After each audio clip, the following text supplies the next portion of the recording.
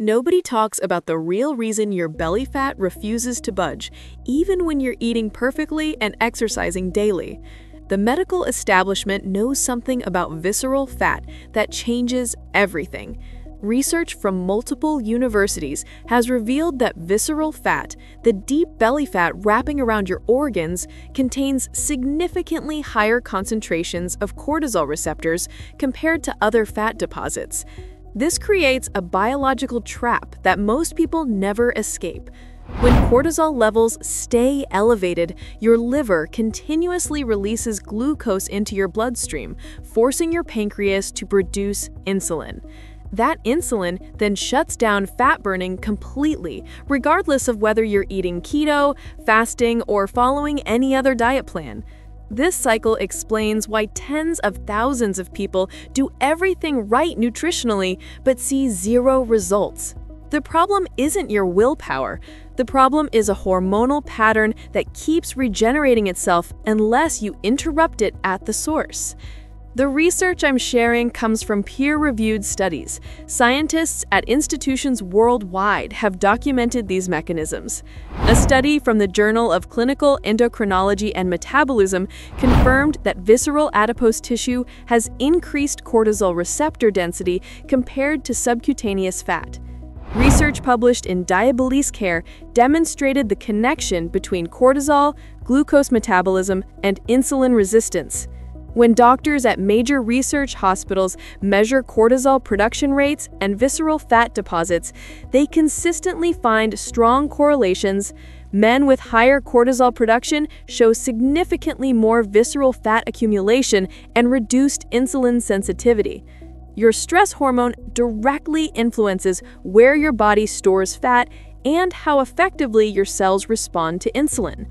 Understanding this connection changes everything about weight management and metabolic health for people over 40. Visceral fat possesses a higher density of glucocorticoid receptors than other adipose tissue regions. When cortisol circulates through your bloodstream, it binds preferentially to these receptors in your abdominal fat cells. Visceral fat acts as an active endocrine organ, producing inflammatory compounds and interfering with normal metabolic function. The more cortisol your abdominal fat absorbs, the more resistant your cells become to insulin signaling. When cortisol levels rise from psychological stress, sleep deprivation, or dietary factors, your liver responds by breaking down glycogen stores and releasing glucose. This is a survival mechanism designed to provide quick energy during genuine emergencies. The problem occurs when this mechanism activates repeatedly throughout the day and night. Your pancreas detects the glucose surge and releases insulin to manage blood sugar levels. When insulin levels are elevated, your body receives a clear signal, stop burning fat for fuel. Fat oxidation shuts down completely. Even if you're eating in a calorie deficit and exercising daily, high cortisol drives glucose release, which triggers insulin, which blocks fat burning. First, trap number one, midnight cortisol surge. During sleep, your body should be repairing tissues and burning fat for energy. For millions of people, something different happens between 1 a.m. and 4 a.m. As blood glucose drops during the night, your brain monitors these levels. When glucose falls below a certain threshold, your hypothalamus interprets this as a threat. Your adrenal glands respond by releasing cortisol to stimulate glucose production. This cortisol surge does three things. First, it wakes you up, often suddenly with your heart beating faster. Second, it signals your liver to convert stored glycogen to glucose and release it into your bloodstream. Third, this glucose spike triggers insulin secretion. Research published in Diabetes Care found that these nighttime glucose fluctuations significantly impair insulin sensitivity and reduce overnight fat oxidation. When you wake up feeling puffy, bloated, and craving carbohydrates, you're experiencing the after effects of this midnight hormonal cascade. Many people attribute these symptoms to the food they ate for dinner, when the actual culprit is the cortisol-driven glucose dump occurring during sleep. Next, trap number two, excessive cardio. Long duration cardiovascular exercise, jogging for 45 minutes, running 5K distances multiple times weekly, extended treadmill sessions, elevates cortisol levels significantly and keeps them elevated for hours after you finish. Studies published in the European Journal of Applied Physiology demonstrate that prolonged aerobic exercise increases cortisol production, breaks down muscle tissue, reduces metabolic rate over time, increases hunger hormones, and disrupts glucose-insulin dynamics. The irony becomes clear when you see people doing extensive cardio specifically to lose belly fat, yet their midsection grows larger over time. The exercise itself triggers the hormonal pattern that stores more visceral fat. Walking differs completely. Research shows that walking at a moderate pace supports healthy cortisol regulation, enhances insulin sensitivity, and promotes fat oxidation without triggering stress responses. Walking after meals proves particularly effective, with studies showing it reduces postprandial glucose significantly. Short, intense movements, like sprinting, create a different hormonal response brief, high-intensity efforts stimulate growth hormone production, a powerful fat-burning and muscle-building hormone, while avoiding prolonged cortisol elevation. The key distinction is duration and intensity, short and intense versus long and moderate. Next, trap number three, over-fasting without recovery. Intermittent fasting offers significant metabolic benefits when implemented correctly. Research confirms that time-restricted eating improves insulin sensitivity, activates cellular cleaning processes called autophagy, and supports healthy aging. The problem emerges when people combine extended fasting with intense exercise and insufficient recovery time. Both fasting and exercise are hormetic stressors, beneficial when applied strategically. When combined excessively, they create chronic stress that elevates cortisol beyond beneficial ranges. When cortisol rises too high, your liver releases glucose even though you haven't consumed any food. This glucose triggers insulin secretion, which blocks fat oxidation. You believe you're in a fasted, fat-burning state, but your hormones tell a different story. Your body is burning glucose released by stress hormones rather than stored body fat. This explains why some people practice rigorous intermittent fasting, yet see minimal fat loss. Their cortisol levels are driving glucose production and insulin secretion that counteract the fasting benefits. The solution isn't abandoning fasting. The solution is balancing fasting duration with adequate protein intake, sufficient recovery time, and appropriate exercise intensity your body needs windows of rebuilding to counterbalance the catabolic stress of fasting and training. Now let's see the solution number one, evening eating cutoff. Research from the Salk Institute demonstrates that insulin sensitivity decreases significantly after sunset. When you eat late in the evening, your body requires substantially more insulin to process the same food compared to earlier in the day. Elevated insulin at night suppresses growth hormone production. Growth hormone is released during deep sleep and serves as one of your body's most powerful fat-burning signals. When insulin remains high during sleep, growth hormone release is blunted, reducing overnight fat oxidation and tissue repair. By stopping food intake at least three hours before bedtime, you allow insulin levels to decline before sleep begins. This timing supports several beneficial processes. Cortisol naturally decreases, insulin drops to baseline, sleep quality improves, growth hormone production increases, and fat burning continues throughout the night. This single adjustment has helped thousands of people finally achieve the overnight fat burning they've been working toward.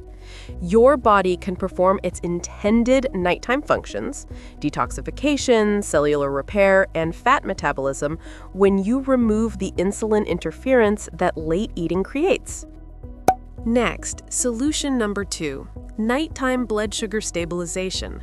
For people who consistently wake between 1 a.m. and 4 a.m. with racing hearts and active minds, a simple intervention can restore sleep quality. One tablespoon of raw honey, mixed with a pinch of sea salt, consumed either before bed or upon waking. This works through specific metabolic pathways. Honey contains both glucose and fructose that your liver processes efficiently. The glucose provides immediate fuel, preventing the blood sugar drop that triggers cortisol release. The fructose replenishes liver glycogen stores.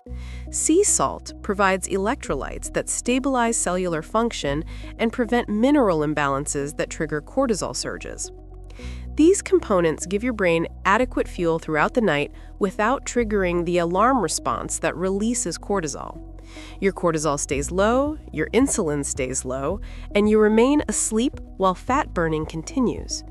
This intervention temporarily affects your fasting window slightly, but quality sleep is more important than a perfect fast. As your cortisol patterns improve over time, you'll likely find you no longer need this intervention.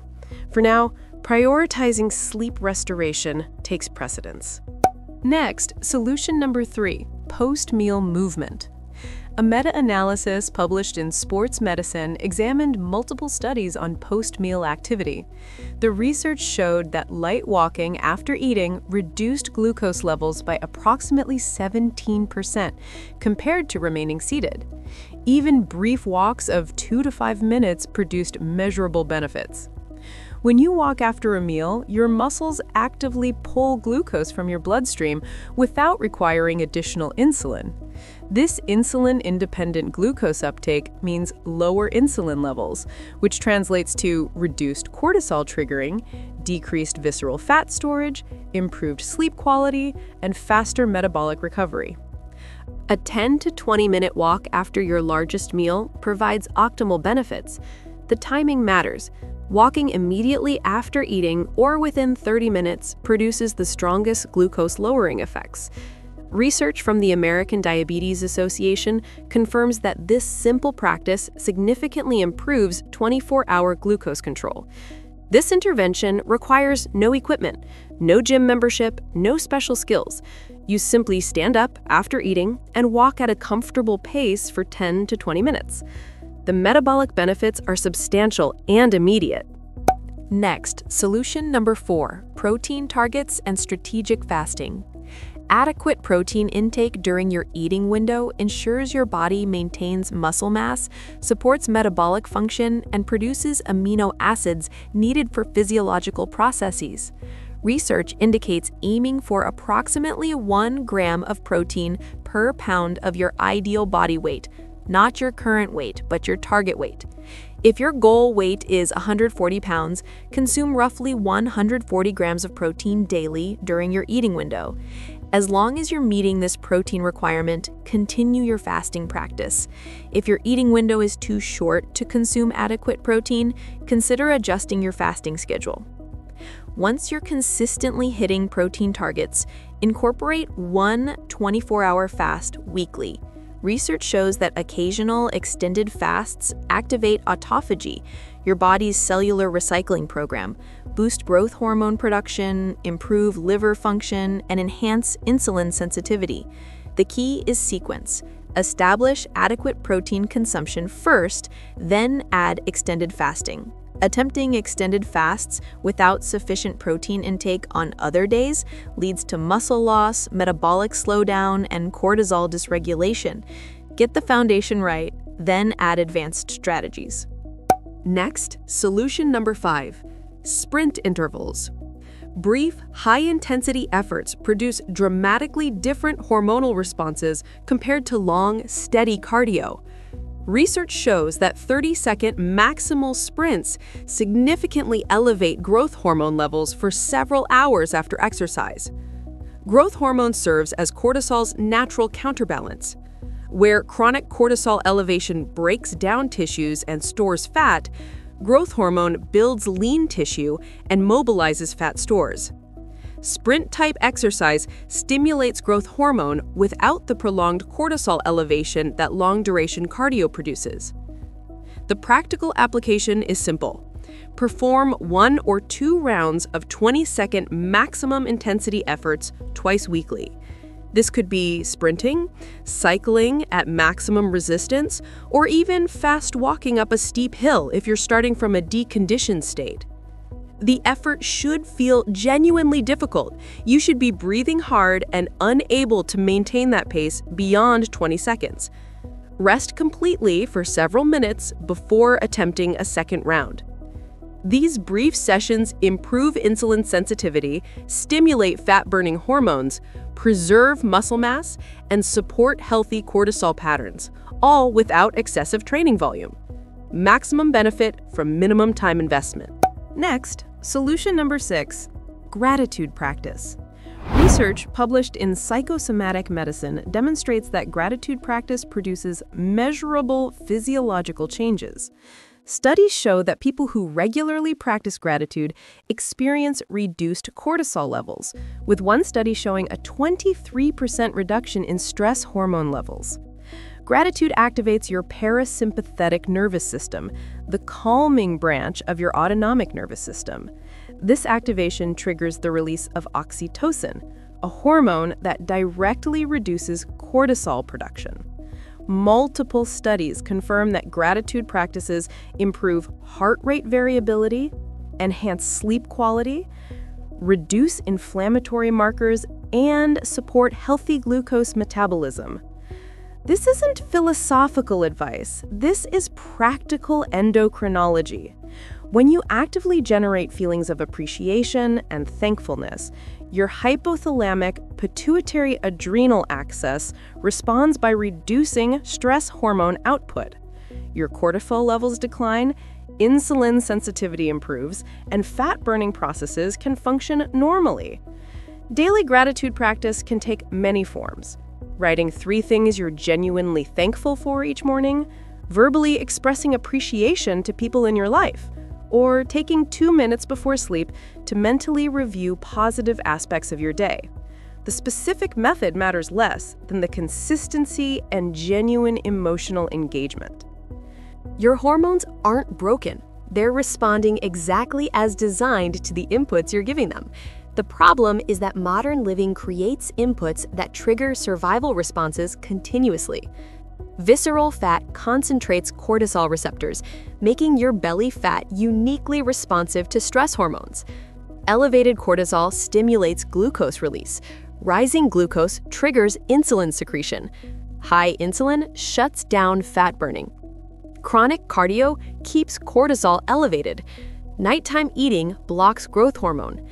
Midnight blood sugar drops trigger cortisol surges. Excessive fasting without recovery adds more stress. Each factor compounds the others. But you're not trapped. Stop eating three hours before bed. Use honey and salt if you wake at night. Walk after meals. Meet your protein targets. Replace long cardio with brief sprints. Practice genuine gratitude daily. These aren't quick fixes. They're sustainable approaches that work with your physiology.